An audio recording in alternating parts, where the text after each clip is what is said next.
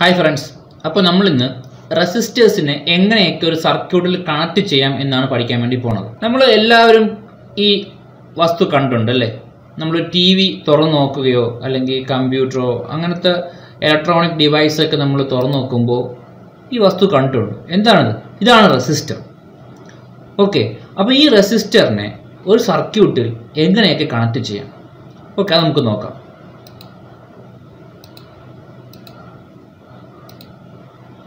ഒരു റെസിസ്റ്ററിന്റെ പടം നമ്മൾ കണ്ടു.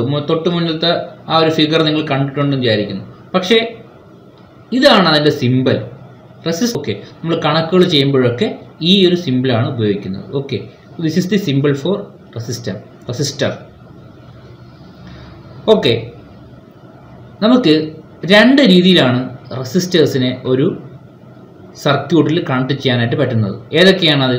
ഒന്ന് സീരീസ് കണക്ഷൻ സീരീസ് എന്ന് പറഞ്ഞാൽ എന്താ? നിരനിരയായി വെക്കുക. ഒന്നിന് പുറകിൽ ഒന്ന് വെക്കുക.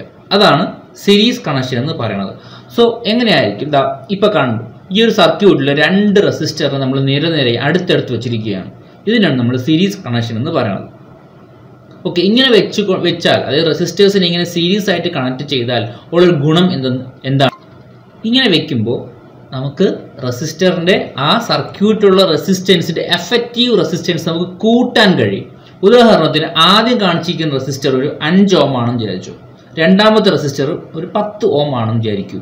അങ്ങനെയാണെങ്കിൽ ഈ സർക്യൂട്ടിലുള്ള എഫക്റ്റീവ് റെസിസ്റ്റൻസ് അഞ്ചും പത്തും പതിനഞ്ചാവും പതിനഞ്ച് ഓം ആയിരിക്കും എഫക്റ്റീവ് റെസിസ്റ്റൻസ് അപ്പോൾ if a resistor is connected in series we can increase the effective resistance എന്ത് ചെയ്താൽ മതി? വെറുതെ അങ്ങ് ആഡ് ചെയ്താൽ മതി.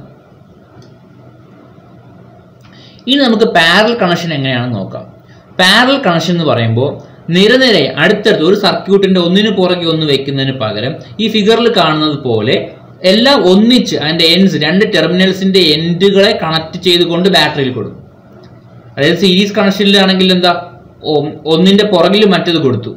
അല്ലെ? ഇവിടെ ആണെങ്കിൽ രണ്ടിന്റെ ടെർമിനൽസും കൂടി ജോയിൻ ചെയ്തിട്ട് ആ എൻഡിനെയാണ് ഇവിടെ കൊടുക്കുന്നത്? ബാറ്ററിയിൽ കൊടുക്കുന്നത്. So this type of connection is called parallel connection ഇങ്ങനെ വെക്കുമ്പോൾ ഉള്ള ഒരു പ്രത്യേകത എന്താണ്? എക്സാമ്പിൾ ആദ്യം പറഞ്ഞതുപോലെ ഇവിടെയുള്ള ആദ്യം കാണിച്ചിരിക്കുന്ന റെസിസ്റ്റൻസ് അഞ്ച് ഓം ആണെന്ന് വിചാരിക്കും. രണ്ടാമത് കാണിച്ചിരിക്കുന്നത് പത്ത് ഓം ആണെന്ന് വിചാരിക്കും. ഇവിടെ രണ്ടും കൂടി ആഡ് ചെയ്യുമ്പോൾ അല്ലെങ്കിൽ എഫക്റ്റീവ് റെസിസ്റ്റൻസ് എടുക്കുമ്പോൾ നമുക്ക് വളരെ ചെറിയൊരു low level resistance resistance value ആയിരിക്കും കിട്ടുന്നത്. നേരത്തെ രണ്ടും കൂടി കൂട്ടി പതിനഞ്ചിന് കിട്ടി. ഇവിടെ അത്രയും കിട്ടില്ല. അഞ്ചും പത്തും കൂടി ആഡ് ചെയ്യുമ്പോൾ അഞ്ചിനെക്കാട്ടിയും താഴെയുള്ളൊരു വാല്യൂ ആയിരിക്കും നമുക്ക് ആ സർക്യൂട്ടിലുള്ള എഫക്റ്റീവ് റെസിസ്റ്റൻസ് ആയിട്ട് കിട്ടുന്നത്. നമ്മൾ കണക്ക് ചെയ്യുമ്പോൾ പ്രോബ്ലം ചെയ്യുമ്പോൾ കുറച്ചും കൂടി കൂടുതൽ മനസ്സിലാവും. നമുക്ക് സീരീസ് കണക്ഷനെ കുറിച്ച് ഡീപ്പായിട്ട് പഠിക്കാം. സോ നേരത്തെ പറഞ്ഞതുപോലെ സീരീസ് ആയിട്ടാണ് റെസിസ്റ്റൻ റെസിസ്റ്റേഴ്സ് നമ്മൾ വെക്കുന്നത്. അതുപോലെ തന്നെ ഇവിടെ ഫസ്റ്റ് വാല്യൂ ആർ വൺ ആണെന്ന് വിചാരിക്കുക. രണ്ടാമത്തെ റെസിസ്റ്ററിന്റെ വാല്യൂ ആർ ടു ആണെന്ന് വിചാരിക്കുക. എക്സാമ്പിൾ അഞ്ചും പത്തും എന്ന് പറഞ്ഞതുപോലെ അപ്പോൾ ഇവിടെ ഇതൊരു വി എന്ന് പറഞ്ഞ വോൾട്ടേജാണ് കണക്ട് ചെയ്തിരിക്കുന്നത്. അങ്ങനെയാണെങ്കിൽ എഫക്റ്റീവ് റെസിസ്റ്റൻസ് കണ്ടുപിടിക്കാനുള്ള ഫോർമുല എന്ന് പറയുന്നത് എന്താണ്?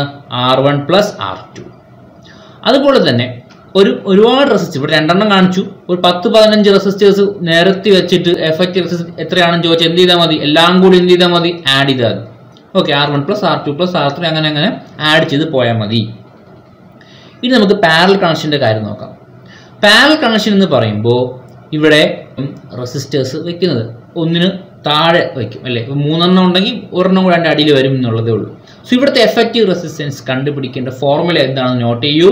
വൺ ബൈ ആർ ആണ്. നേരത്തെ R equal to R one plus R two simple ഇവിടെ പക്ഷേ വൺ ബൈ ആർ ആണ്. One by R equal to one by R one plus one by R two എന്ന് എടുക്കണം. So if there is many number of resistance which are connected in parallel ഈ രീതിക്ക് വരും. അല്ലേ? One by R one plus one by R two plus up to എത്ര വരെ ഉണ്ടോ അത്രയും വരെ നമ്മൾ എടുക്കേണ്ടി വരും. ഓക്കെ നമ്മുടെ കയ്യിൽ ഒരേ വാല്യൂ ഉള്ള കുറച്ച് റെസിസ്റ്റേഴ്സ് തന്നിട്ടുണ്ട് എന്ന് വിചാരിക്കുക. എക്സാമ്പിൾ ഒരു അഞ്ച് ഓം സോറി അഞ്ച് എണ്ണം മൂന്ന് ഓമിന്റെ ഒരു അഞ്ച് എണ്ണം നമ്മളെ കയ്യിൽ തന്നിട്ടുണ്ടെന്ന് വിചാരിക്കും ഇവിടെ കാണുന്ന ഓരോന്നും മൂന്ന് ഓം ആണ്.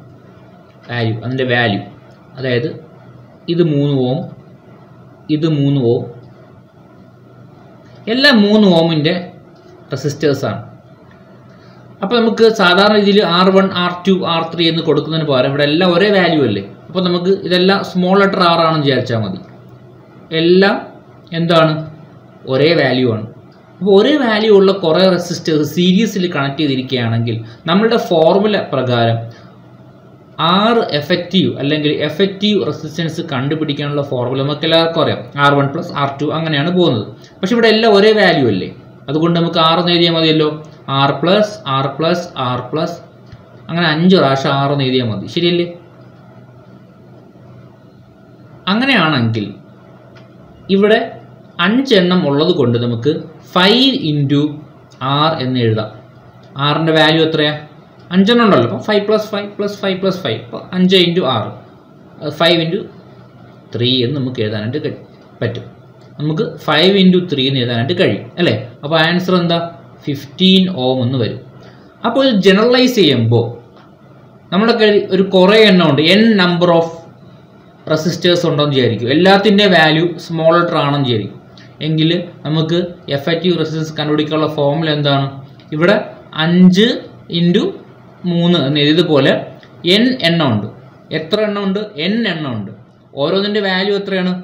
ആറാണ് അങ്ങനെയാണെങ്കിൽ എഫക്റ്റീവ് റെസിസ്റ്റൻസ് കണ്ടുപിടിക്കാൻ ഈ ഫോർമുല ഉപയോഗിച്ചാൽ പോരെ?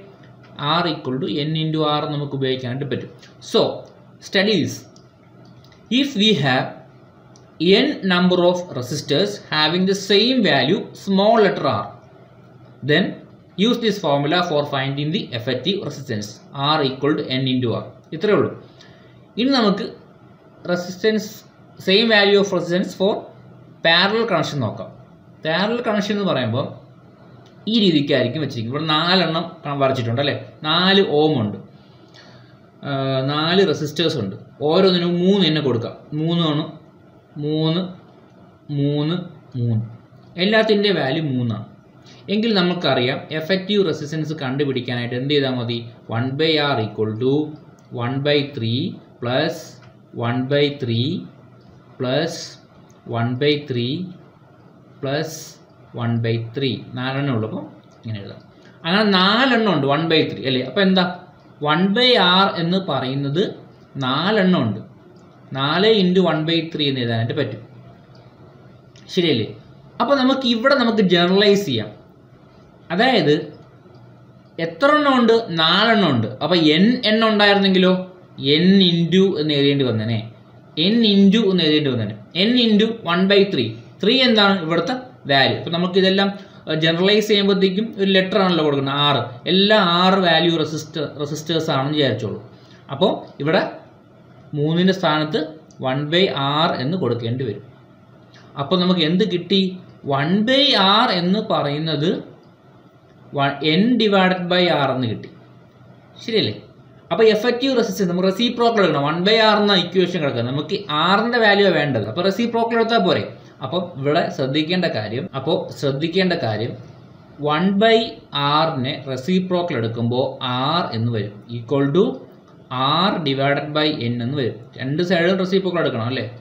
റൈറ്റ് സൈഡും ലെഫ്റ്റ് സൈഡും റെസിപ്രോക്കൽ എടുത്തു. വൺ ബൈ ആർ ആർ ആയി N by R R by N ആയി.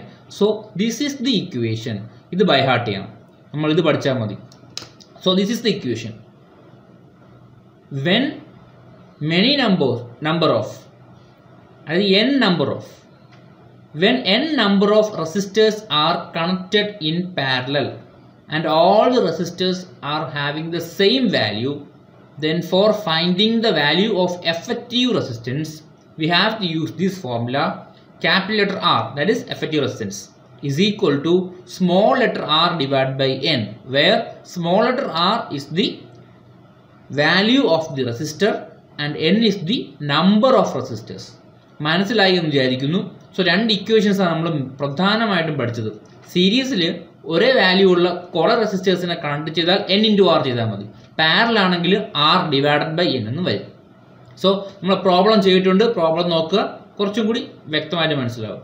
ഓക്കെ അപ്പോൾ ഈ ക്ലാസ് ഇത്രയേ ഉള്ളൂ. ബൈ